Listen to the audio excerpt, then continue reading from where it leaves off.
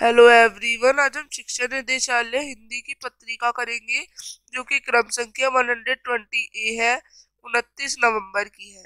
नमस्ते, प्यारे बच्चों। आशा करते हैं आप सभी स्वस्थ होंगे। तो आप सभी के लिए आज हम कुछ क्वेश्चंस लाए हैं, जो कि रिकेप्चुलेशन वर्कशीट में आपके आए हैं। तो आज हम इनको डिस्कस करेंगे और सही आंसरों को जानेंगे। तो नीचे दिए गए शब्दों में से व्यवहार शब्द का अर्थ। तो व्यवहार शब्द क्या होता है? व्यवहार का मतलब किसी के संग आप कैसे रह रहे हैं? किसके संग आप कैसा बर्ताव कर रहे हैं? तो यहाँ पे कौन सा आपका ऑप्शन सही होगा? बर्ताव का।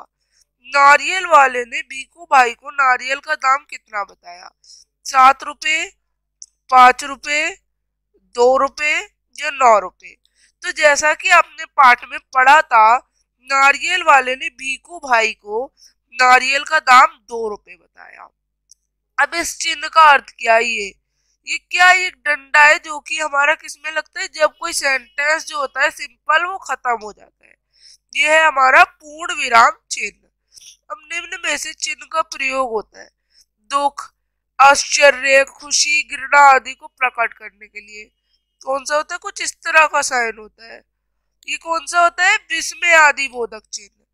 अब भीकू भाई का स्वभाव कैसा था? वो दानी थे, दान दे देते थे, खर्चीले थे, खर्चा करते थे, कंजूस थे या बेवकूफ़ थे? वो थे हमारे कंजूस। अब सुनीता को अमित कहाँ पर मिला था? बाज़ार में, खेल के मैदान में, घर पर या स्कूल में? वो उसे मिला था बाज़ार में। अब आगे पाठ के आधार जो था, बीकू भाई वाला, उस पर प्रश्न है। सुनीता कौन कौन से काम स्वयं करती थी?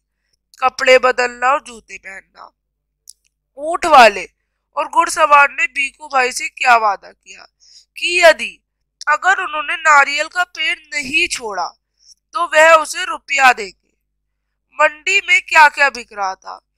आलू बिक रहे थे, टमाटर बिक रहे थे, कांदा मतलब प्याज बिक रहे थे, मटर बिक रही थी, गाजर बिक रही थी और बंद गोभी बिक रही थी।